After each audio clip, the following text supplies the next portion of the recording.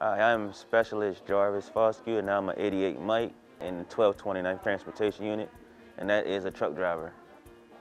So we're going to be here assisting with the health department. We're in Pocomoke City, Maryland, Elks Lodge.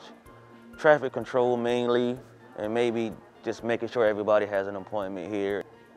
It's, it's really an honor and a privilege to give back to a place that I grew up in. I've been living here since I was eight years old, so this is hometown to me. I know a lot of people here, um, know a lot of faces here, and it's, it's always a beautiful thing to be able to be recognized for what you do. I just wanted to serve my country, but in serving my country, it was an opportunity to come to my hometown that I was raised in, where I know a lot of people, a lot of people know me, and it, it just it just feels good to be able to see the community come together and just try to make this right, try to make it better than it was, because we had some rough times, tough times, some dark times, but this is hope. This is hope. It makes us feel better about tomorrow.